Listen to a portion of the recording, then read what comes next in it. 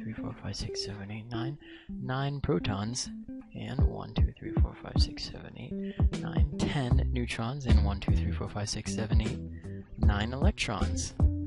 Now, let's see how many isotopes it has. Just grab this eraser, color it in, erase all this, bring this over here. 18 isotopes, which are all unstable except for fluorine 19. Alright, now let's watch me move fluorine 19 over here into the corner, draw a pretty arrow, and now let's talk about fluorine's percent abundance. Now since fluorine is the only isotope that basically exists because everything else just decays right away, it has a 100% abundance. So, if we bring the 100% abundance over here into the corner, that means by multiplying the mass of the isotope by the percentage of the abundance, we get fluorine has an 18.998403 average atomic mass, according to my calculations. Just kidding, according to Wikipedia, which also says that fluorine forms a cation. Wait, the Wikipedia page says that fluorine is a cation? Okay, I get it. That's not right. Fluorine is an anion when it reacts with other elements. Let's fix that. Okay, on with the video. What kind of anion does it form, you may ask? Okay, well, if you take long cat, long cat is long, you shrink him down, and you rotate him 90 degrees. There, you get fluorine minus 1, or fluorine to the negative 1. Erase all this. Fluorine to the negative 1 is cation. Anion forms an anion. Anion. Hmm. Well now, ceiling cat, if you'll remember from our periodic table of elements, fluorine is in period 2 of the halogen family, and it has seven valence electrons, signified by that little hectagon right there. All right, now one, two, three, four, five. Yeah, hectagon. Now, with those seven valence electrons, there are two ways you can write their electron configuration. The long cat or long hand way to write it is 1s2, 2s2, 3p5. And the shortcut way is helium, in brackets of course, 2s2 and 3p5. Going back to our periodic table of elements with a hexagon, not a hectagon, silly David from 48 seconds ago, no element on this entire periodic table has a higher reactivity than fluorine, and we'll look at that later so it can make my video seem longer.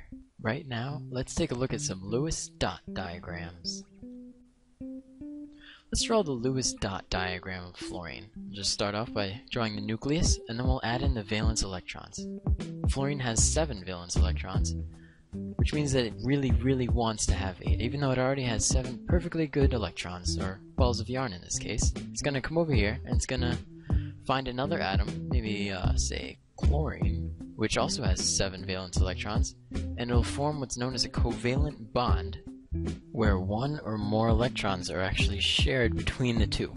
This covalent bond right here will end up being called ClF3, or chlorine trifluoride.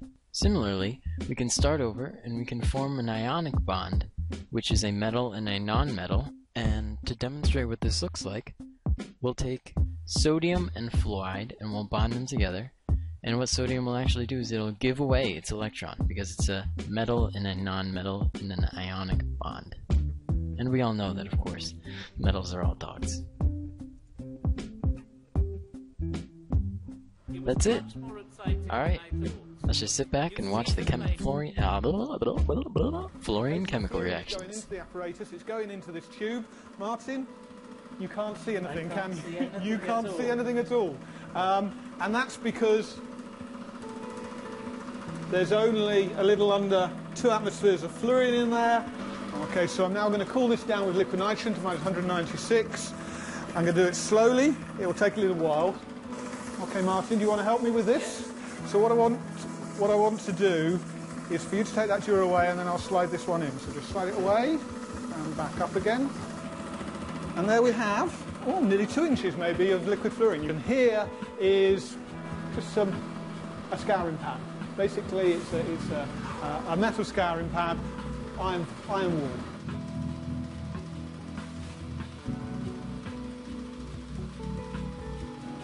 It's burnt a hole right through the iron wool. It's extraordinary. The iron looks as if it's rusted, but the rusty colour is actually iron fluoride, or maybe a bit of iron oxide from the hot iron reacting with the oxygen in the air. Well, the reason that fluorine makes such strong bonds is because it is a small atom and the nucleus is relatively highly charged because it's right on the right hand side of the periodic table, but the electrons don't shield this nucleus, so it is very so called electronegative. It attracts electrons to itself from other elements.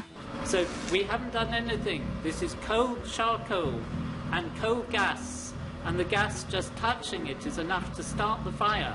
Think of that, just the coal gas setting things on fire.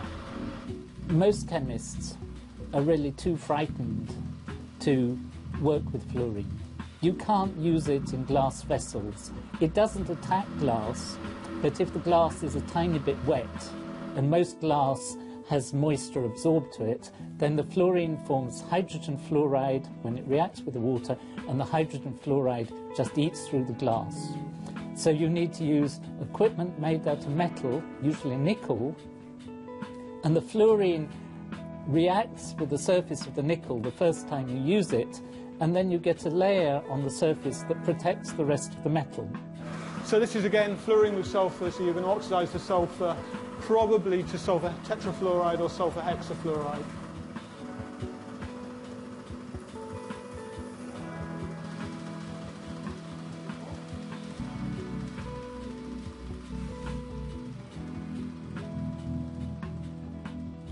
Fluorine has this reputation for being very reactive and very dangerous and something to be careful about. But aren't there fluorine atoms in my toothpaste? There are. Your toothpaste contains fluoride. And just in the same way that you can eat sodium chloride table salt, which contains chlorine, you can use fluorides, and once the fluorine has got an extra electron, for example, from the tin in tin fluoride, which is often used in toothpaste, or sodium fluoride, it's got what it wants, and it's not very reactive.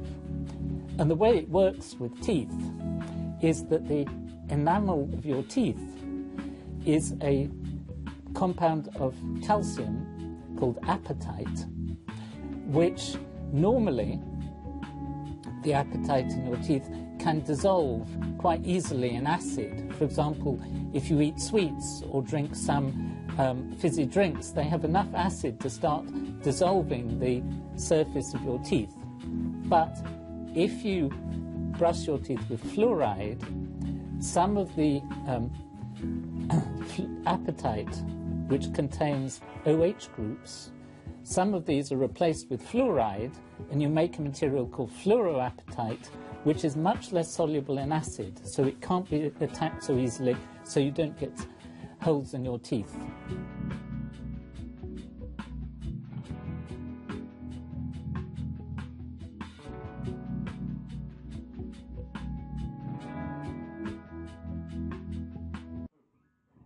Oh,